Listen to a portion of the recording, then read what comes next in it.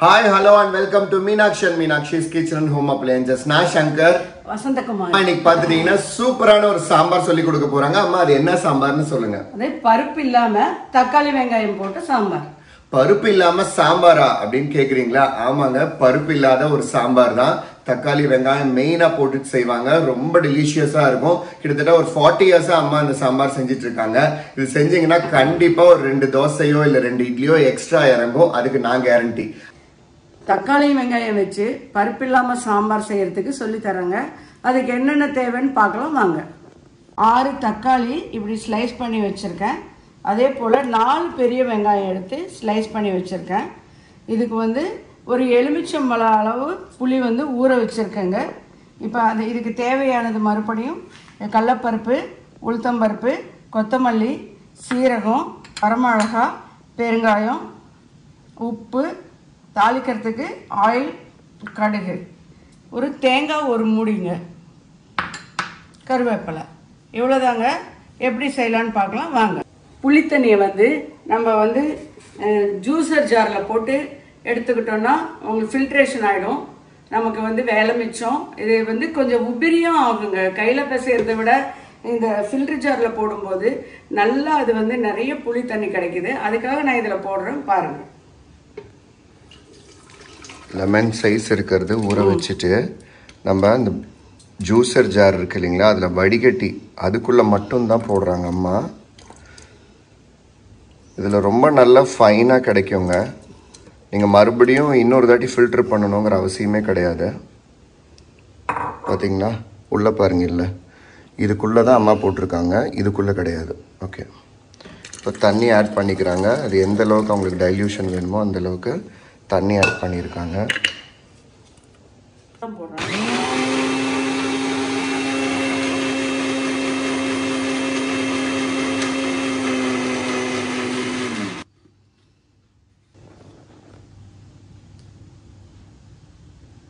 பார்த்தீங்களா எவ்வளோ ஃபைனாக வந்திருக்குன்னு நீங்களே பார்த்துட்ருப்பீங்க.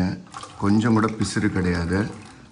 இப்போ நீங்கள் கையில் செஞ்சீங்கன்னா கையெல்லாம் மெஸ்ஸி ஆகும். பாத்திரம் நிறைய பாத்திரம் எடுக்க வேண்டியது இருக்கும். இதுன்னா ரொம்ப ஈஸியாக ரொம்ப சிம்பிளாக செஞ்சு முடிச்சிடலாம். நம்ம மீனாட்சி மீனாட்சியுடைய ஜூஸர் ஜாரில் செகண்ட் ஃபில்டர் பண்ணுறாங்க தண்ணி மறுபடியும் ஊற்றியாச்சு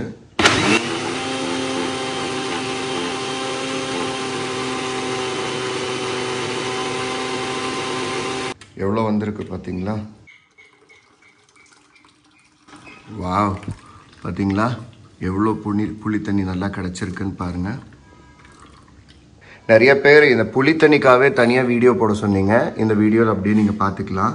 இப்போ ரெண்டு தாட்டி தண்ணி ஊற்றி பண்ணியிருக்காங்க இப்போ பார்த்தீங்கன்னா கடைசியாக ஒரு தாட்டி தண்ணியை ஊற்றாம அம்மா பண்ண போகிறாங்க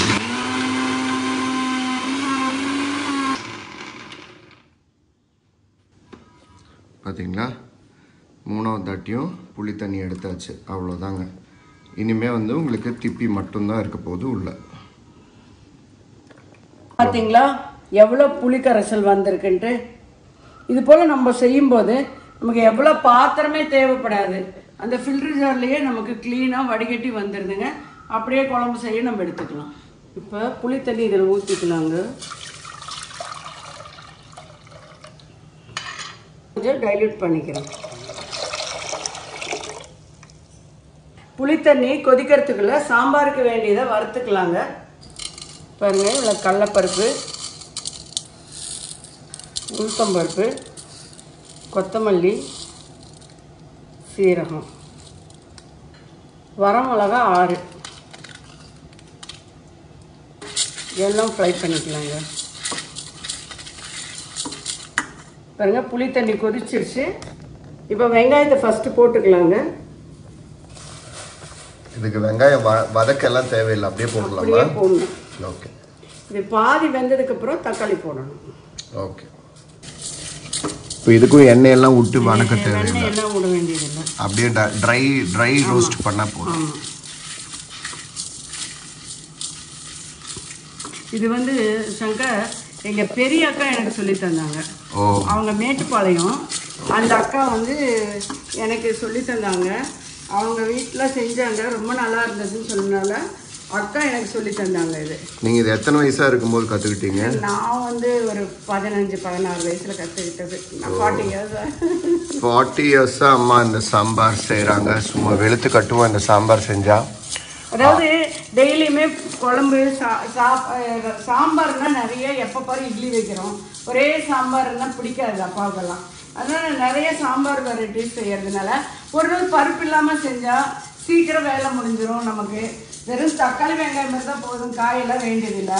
அதனால நான் இது வந்து நான் அடிக்கடி செய்வேன். ஆமாம் இந்த சாம்பார் செஞ்சால் விட்டு வணக்குவோம் நாங்கள் தோசை. அவ்வளோ தோசை சாப்பிடுவோம். அதுவும் இல்லாமல் பருப்பு இல்லாத சாம்பார் அப்படிங்கும்போது இந்த எக்ஸ்ட்ரா இன்க்ரீடியன்ஸ் எல்லாம் போட்டு இவங்க வந்து ஃப்ரை பண்ணி ரோஸ்ட் பண்ணி அது அரைச்சி கொட்டும் போது சூப்பராக இருக்கும். கிட்டத்தட்ட ஒரு அரைச்சி கொட்டின சாம்பார் மாதிரி நல்ல டேஸ்டியாக இருக்கும். கண்டிப்பாக இது ட்ரை பண்ணுங்கள் நல்லா வறுப்பட்டுடுச்சுங்க லாஸ்ட்டாக நம்ம வந்து பெருங்காயத்தூள் கொட்டிக்கலாம்.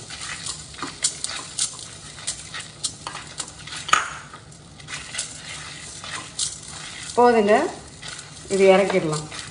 ஏன்னா வெங்காயம் சூப்பராக வந்துட்டு நல்லா வெந்துக்கிட்டு இருக்கு.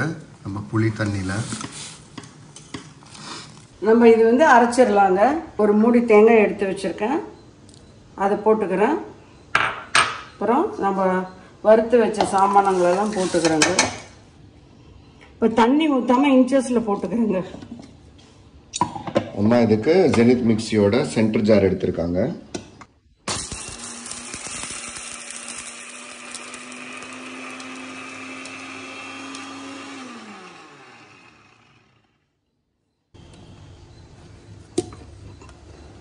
பார்த்தீங்களா எல்லாம் தூள் தூளாக ஆயிடுச்சு. இப்போ நம்ம தண்ணி ஊற்றி அரைச்சிக்கலாம்.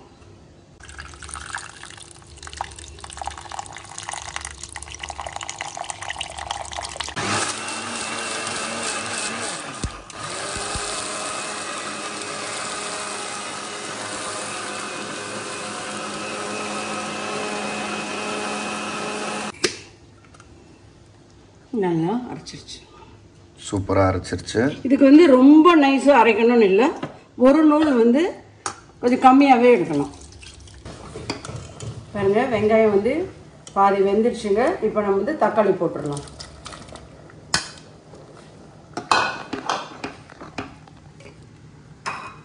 மூடி வச்சிடலாம். பாருங்க இப்போ வந்து தக்காளியும் வெந்துடுச்சு அதனால் நம்ம வந்து அந்த அரைச்ச மசால் ஊற்றிடலாம்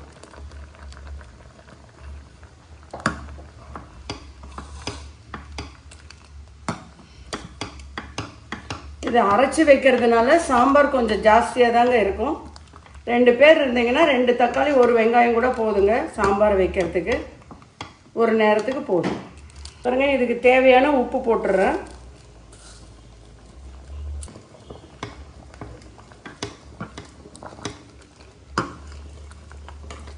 பாருங்க கொதிச்சிட்டுருக்கு இப்போ வந்து கருவேப்பிலை அந்த கொத்தா போடணுங்க. கொத்தா போட்டுடுறேன்.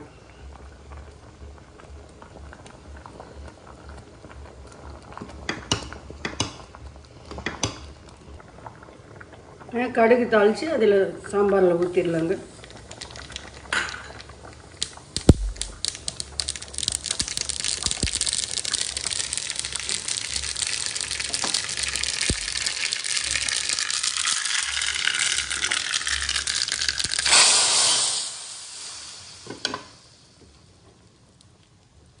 சாம்பார் ரெடி. சூப்பரான ஒரு ரோஸ்ட் ரெடி ஆயிடுச்சு செம்ம காம்பினேஷன் இந்த பருப்பு இல்லாத தக்காளி வெங்காய சாம்பாரும் இந்த தோசையும் கண்டிப்பாக இது ரெண்டும் நீங்கள் ட்ரை பண்ணிவிட்டு எப்படி இருக்குன்னு எங்களுக்கு ஃபீட்பேக் பண்ணுங்கள் இப்போ நாங்கள் உங்களுக்கு டேஸ்ட் பண்ணிவிட்டு எப்படி இருக்குன்னு நாங்கள் சொல்கிறோம் ஓகே சூப்பரான எம்மியான இந்த பருப்பு இல்லாத தக்காளி வெங்காயம் சாம்பார் ரெடி பண்ணியிருக்காங்க அம்மா அதுக்கு சூப்பரான ஒரு ரோஸ்ட் தோசை இது எப்படி இருக்குன்னு நான் சொல்கிறேன் டேஸ்ட் பண்ணிவிட்டு பார்த்தீங்களா எப்படி ஆவி பறக்குதுன்ட்டு? சூப்பராக செம சுடு சுடுன்ட்டு இருக்கு எப்பயும் போலமே சூப்பராக இருக்குமா? இது வந்து உங்க பெரிய பெரியம்மா சொல்லி தந்தாங்க. அவங்க மேட்டுப்பாளையத்துல இருக்காங்க. இப்போ அவங்க இல்ல. ஆனா அவங்க சொல்லி தந்ததை மறக்காம நம்ம செஞ்சுட்டு இருக்கோம் இல்லையா? கண்டிப்பாக சூப்பரான இந்த சாம்பார் நீங்கள் கண்டிப்பாக செஞ்சு பார்த்துட்டு எப்படி இருக்கு அப்படிங்கறது எங்களுக்கு ஃபீட்பேக் சொல்லுங்க இந்த வீடியோ உங்களுக்கு கட்டாயம் பிடிச்சிருக்கும் இந்த வீடியோ உங்களுக்கு பிடிச்சிருந்துச்சுன்னா லைக் பண்ணுங்க ஷேர் பண்ணுங்க மீனாட்சி அண்ட் மீனாட்சி யூடியூப் சேனலுக்கு சப்ஸ்கிரைப் பண்ணுங்க இன்னொரு சூப்பரான வீடியோவில் நாங்கள் உங்களை கேட்ச் பண்ணுறோம் until then this is Shankar Vasanthakumari signing off. Take care. Bye.